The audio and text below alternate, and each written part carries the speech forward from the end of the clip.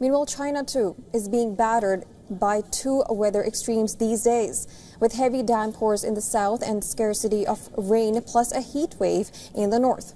While tens of thousands of people are being evacuated in the southern region like Fujian and Guangxi, fears of an impending drought gripping Chinese farmers in the nation's north. Take a look at this report.